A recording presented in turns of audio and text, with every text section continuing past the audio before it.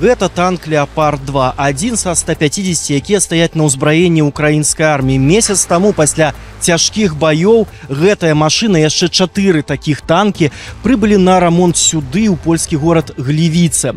Усяго праз некалькі месяцаў гэты танк вернецца на фронт, а сам завод у польскім горадзе Глівіца гатовы прыняць на рамонт нашмат больш украінскай тэхнікі.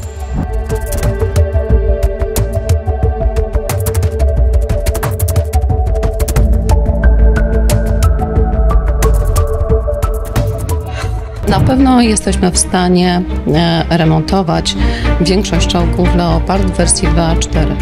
E, W tym specjalizuje się nasz zakład i kwestią, która nas będzie determinowała, to właśnie dostępność e, części, które pozyskujemy ze strony niemieckiej. Proces wykonania poszczególnych części, to takich dość strategicznych, czy części optoelektronicznych, elektronicznych, czy części już takich dużych typu lufy,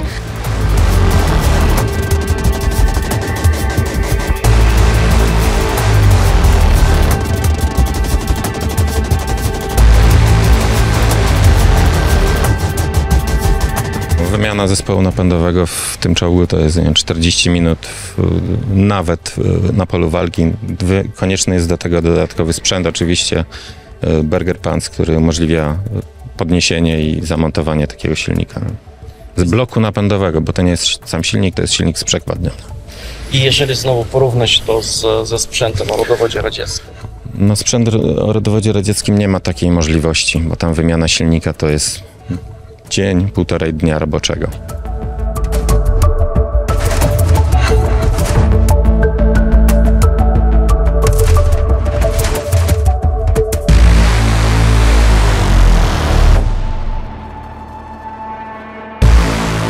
Przedział amunicyjny w wieży jest odseparowany od przedziału bojowego i trafienie nawet w ten przedział jakby y, uniemożliwia jego eksplozję do wnętrza czołgu.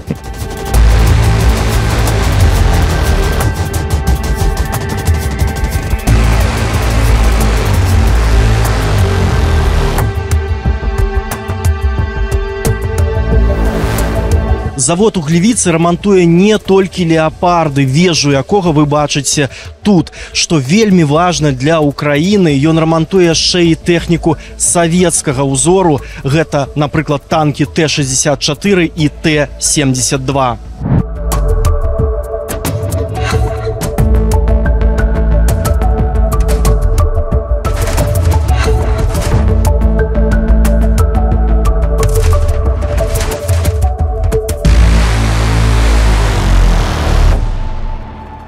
Ні слова вдячності від наших військових ми чуємо, е, особливо за гаубиці краб, особливо за танки е, Т-91. Але що важливо, що тут ми вдячні Польщі за, за таку швидку реакцію. Якщо інші країни ще роздумували на початку цієї повномасштабної агресії, що передавати, яку е, зброю, або швидше там шоломи чи, чи камізельки кульоотпорні, як називають поляки, то Польща відразу кинулась нам допомагати.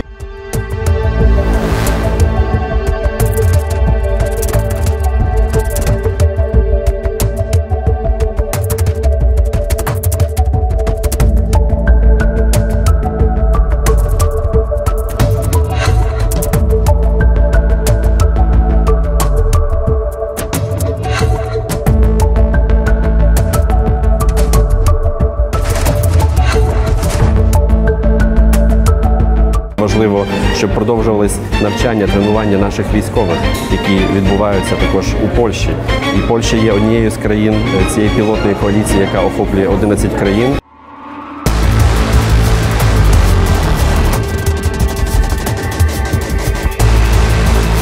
Паводле аб'ёму вайсковай дапамогі ўкраіне Польша знаходзіцца на чацвёртым месцы ў свеце.